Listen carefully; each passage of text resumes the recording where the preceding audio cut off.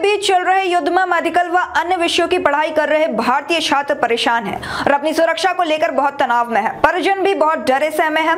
माता पिता का रो रो कर बुरा हाल है। ऐसा ही एक छात्र जो बेवर मैनपुरी का रहने वाला है, नाम है कार्तिक। पिता रामजी गुप्ता।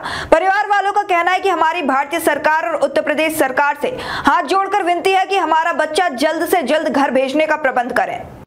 जी, मैं बस ये कहना चाहूँगा कि जल्द से जल्द खारकिव और कीव जो मेन सिटीज़ हैं जहाँ से हम लोग नहीं ट्रैवल कर सकते, वहाँ से भी थोड़ा प्रायोरिटी दीजिए क्योंकि यहाँ का इवैक्यूएशन प्लान कुछ भी नहीं अभी गवर्नमेंट बता रही है तो यहाँ का भी इवैक्यूएशन प्लान बताया जाए।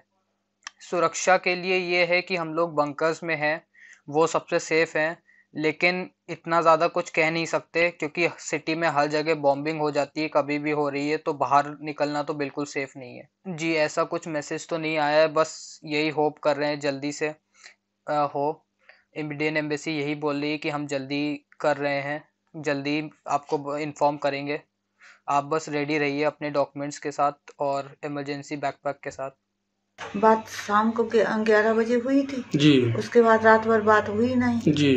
फिर सुबह उसने नेट खुलवाया होगा हम्म, हम्म। टीचरों ने। तब जब नेट खोला तब बात हुई थी। परसों बच्चे ने तो परसों बताया। हम्म, उससे पहले ही लड़ाई छिड़ी थी। जी। तो क्या आपसे बच्चे से क्या बात होती है? मतलब किस तरीके से अपना बताओ अपना। बस जे ये हाल चाल ले लेते हैं हाँ और कह देते बच्चे से मिल लेते हैं वीडियो कॉलिंग से। और जो कहते सही हो खा, खाना पीना कैसे खा रहे हो पी रहे हो क्या जो सब लोग हम तो उससे कहते अच्छे से कहते हैं निकल आओ। इंडियन गवर्नमेंट से आ- क्या अपेक्षा है आपकी क्या उनसे मांग करती हैं आप? हम उनसे कहना चाहते हैं कि हमारा बच्चा सुरक्षित निकल आए।